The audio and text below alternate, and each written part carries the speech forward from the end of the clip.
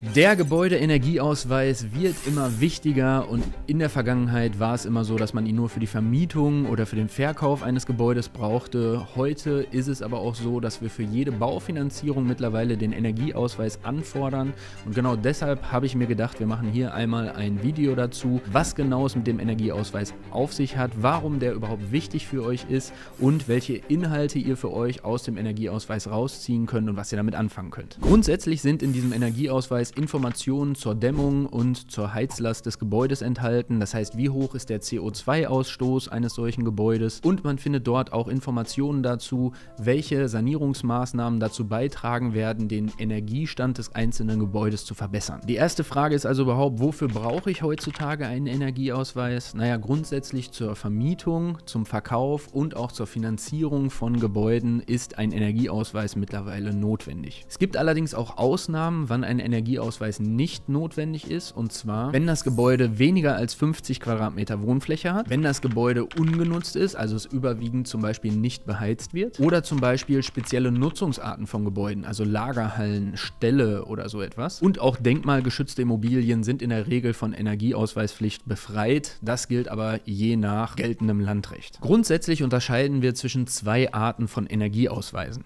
Das eine ist der sogenannte Bedarfsausweis und das andere der sogenannte Verbrauchsausweis. Worin besteht der Unterschied? Der Bedarfsausweis, der wird anhand der tatsächlichen Bausubstanz berechnet. Also das heißt, dort kommt ein Energieeffizienzexperte zu euch in die Immobilie und untersucht beispielsweise die Durchlässigkeit der Fenster oder zum Beispiel auch welche Heizung im Gebäude verbaut ist. Der Verbrauchsausweis dagegen, genau wie der Name schon sagt, der wird immer auf den historischen Verbrauch eines Gebäudes gemünzt und ist deshalb nicht ganz so genau wie ein Bedarfsausweis Bedarfsausweis, weil er sich ja auf den Verbrauch der letzten drei Jahre bezieht. Und je nachdem, welcher Eigentümer oder welcher Mieter in der Immobilie gewohnt hat, hat er ja ein unterschiedliches Heizverhalten gehabt. Deswegen ist meiner Meinung nach der Verbrauchsausweis nicht ganz so aussagekräftig wie ein richtig erstellter Bedarfsausweis. Was aber beide Ausweise gemeinsam haben, ist, dass sie den CO2-Ausstoß des Gebäudes berechnen sollen. Und dass sie daneben auch noch Modernisierungsempfehlungen haben, wie man diesen CO2-Ausstoß in der Zukunft verringern kann. Und das Ganze hat zum Ziel, dass die Energiebilanz des Gebäudes Gebäudes deutlich verbessert werden soll und in Zukunft dazu beigetragen wird, dass solche Worst-Case-Immobilien, also H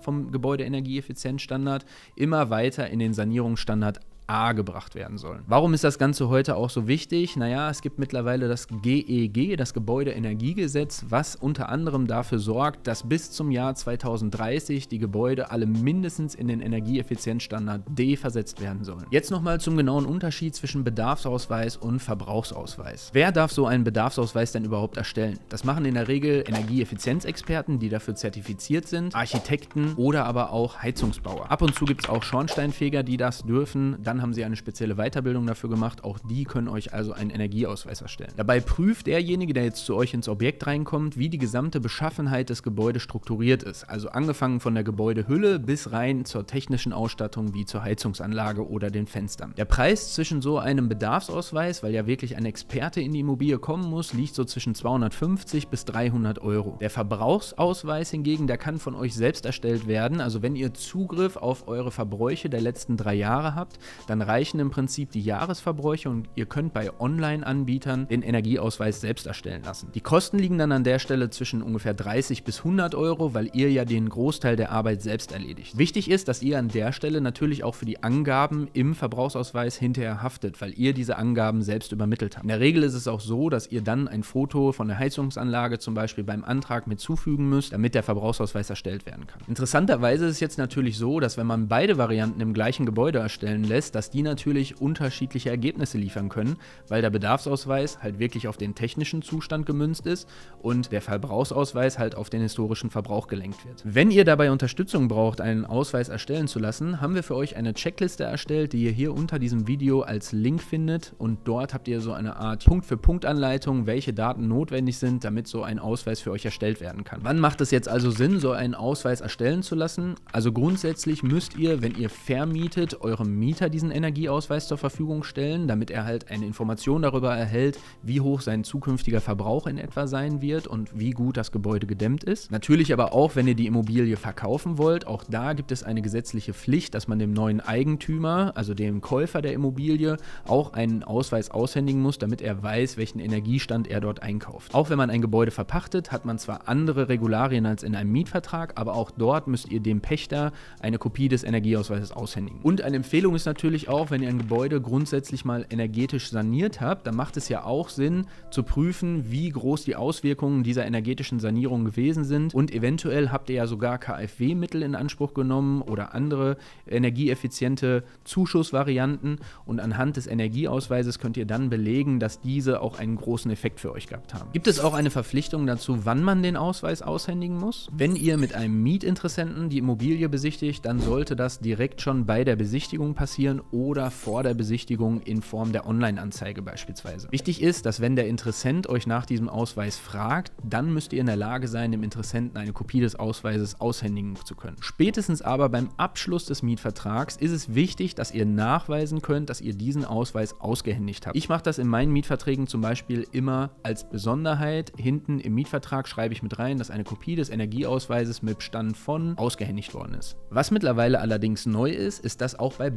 Baufinanzierungsanträgen ein Energieausweis der Immobilie vorgelegt werden muss. Das Interessante ist, dass es von manchen Banken extra für spezielle energieeffiziente Gebäude Zinsnachlässe gibt, die zum Beispiel 0,1% günstiger sind, als wenn man einen schlechten Energiestand im Gebäude hat. Und gerade wenn es um Sanierung geht, ist es auch wichtig, dass man nachweisen kann, wo war der Energieeffizienzstandard vorher und wo wird er durch meine zukünftig geplanten Sanierungen dann hingehen. Also um wie viel verbessert sich das Gebäude durch meine Sanierungen, die ich dort vornehme. Und einen kleinen Tipp kann ich euch an der Stelle auch noch geben aus der Brille eines Immobilienmaklers. Wenn wir mit der Software, die wir haben, um den Marktwert einer Immobilie zu bestimmen, dort die Eingaben pflegen, dann ist dort auch immer eine Frage nach dem Energieeffizienzstandard. Und je nachdem, wie gut dieser Energieeffizienzstandard ist, umso höherwertig ist eure Immobilie aus Sicht der Software und damit natürlich auch draußen, also als allgemeingültige Aussage, je besser der Standard, umso höher der Immobilienwert. Und woher kommt das? Wenn man ein Gebäude hat, was natürlich einen höheren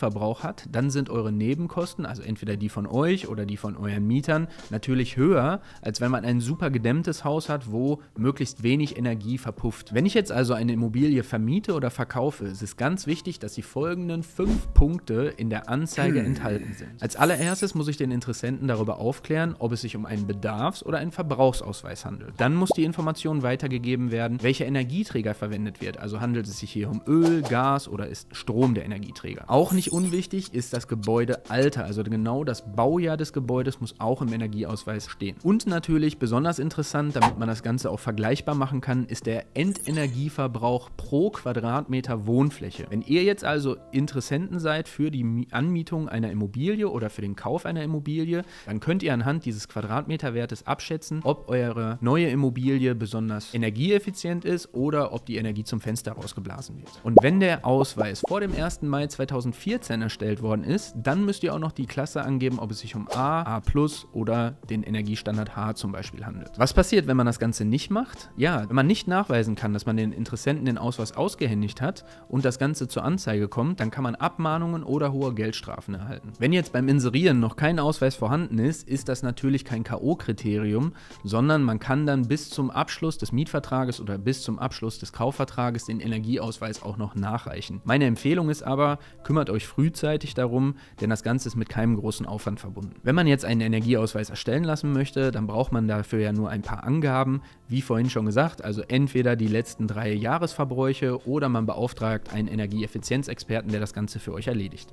Wenn ihr Unterstützung dabei braucht, dann sagt uns gerne Bescheid. Unter dem Video hier findet ihr einen Link, wo ihr einen Energieausweis online erstellen lassen könnt oder sprecht uns einfach an, wenn ihr einen Energieeffizienzexperten bei euch vor Ort haben möchtet, der euer Objekt mit euch gemeinsam begutachtet. Der Vorteil dabei ist natürlich, dass dieser Energieeffizienzexperte euch anhand eurer Immobilie auch direkt einen Tipp geben kann, welche Maßnahmen dazu führen können, dass ihr in Zukunft einen besseren Energiewert erreicht. Grundsätzlich kann es ja Sinn machen, wir haben jetzt das Jahr 2023, wir sind fast in 2024, vielleicht jetzt noch einen Energieausweis erstellen zu lassen, denn solche Energieausweise sind immer 10 Jahre gültig. Da wir ja bis 2030 mindestens den Energieeffizienzstandard D erreichen müssen, macht es ja vielleicht Sinn, heute schon einen Energieausweis Zu erstellen, damit man ihn für diese Gesetzgebung schon mal in der Tasche hat. Zum Schluss möchte ich euch noch ein paar Tipps geben, was man tun kann, um mit möglichst kleinem finanziellen Aufwand den Gebäudeenergieeffizienzstandard maximal zu erhöhen. Am besten fangt ihr bei der Gebäudehülle an. Also das heißt, wenn ihr in der Vergangenheit noch gar nichts gemacht habt an eurer Immobilie, dann ist es mit relativ überschaubarem Aufwand möglich, die oberste Geschossdecke zu dämmen. Dafür gibt es, ganz einfach gesagt, Styroporplatten, die zum Beispiel auch schon obendrauf eine Holzplatte haben, dass man hinterher da drüber laufen kann und die kann man im Prinzip wie Laminat auf dem Boden verlegen. Wenn ihr jetzt euren Dachboden in der Vergangenheit noch nicht gedämmt habt, dann könnt ihr hier mit kleinem finanziellen Aufwand den ganzen Dachboden mit diesem Klicksystem selbst verlegen. Das ist auch nichts Schwieriges und man kann in einer ganz normalen Säge diese Platten schneiden, sodass es eigentlich für jeden möglich sein sollte, diese Maßnahme selbst durchzuführen.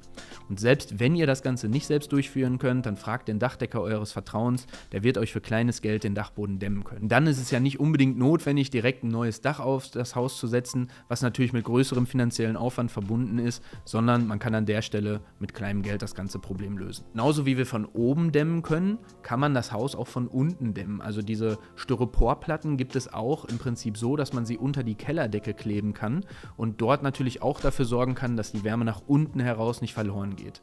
Anfangen würde ich aber immer von oben nach unten am Gebäude. Weiterer Tipp ist, von der BAFA gibt es aktuell Fördermittel und zwar Stand heute um die 20 Prozent, wenn man etwas an der Gebäudehülle verändert. Also zum Beispiel neue Fenster oder eine neue Haustür ins Gebäude einsetzt. Gerne könnt ihr euch da auch hier unter diesem Video den Link einmal anschauen. Dort werden die aktuellen BAFA-Programme genauer beschrieben. Vielleicht machen wir dazu nochmal ein separates Video, aber aktuelle Informationen erhaltet ihr erstmal unter diesem Link. Muss ich jetzt sofort meine Heizungsanlage austauschen und eine neue Heizung einbauen? Nein, das ist ein Medienhype gewesen, der aber aktuell nicht umgesetzt worden ist. Das heißt, wenn ihr eine funktionierende Heizungsanlage habt, ist es nicht notwendig, diese Heizung rauszuschmeißen und gegen eine Wärmepumpe auszutauschen. Solltet ihr aber in den nächsten Jahren in der Situation sein, dass eure Heizungsanlage defekt ist, dann könnt ihr jetzt noch Zuschüsse vom Staat nutzen und je nachdem, wann ihr die Heizungsanlage erneuert, bekommt ihr unterschiedliche Zuschüsse. Aber grundsätzlich ist meine Empfehlung, man schmeißt keine funktionierende Heizungsanlage einfach in den Müll. Das ist eine noch schlimmere Energieverschwendung, als wenn ich die bestehende Heizungsanlage weiterlaufen lasse. Weitere Tipps zum Förderprogramm für Heizungsanlagen findet ihr auch unter diesem Video in den Links. Und damit ihr jetzt in Zukunft keine weiteren spannenden Immobilientipps verpasst, hier die Glocke einmal anklicken, liken, kommentiert diesen Beitrag und am besten schickt ihr ihm euren Kollegen, die auch selber in den Immobilien wohnen oder die jetzt gerne Immobilien kaufen wollen.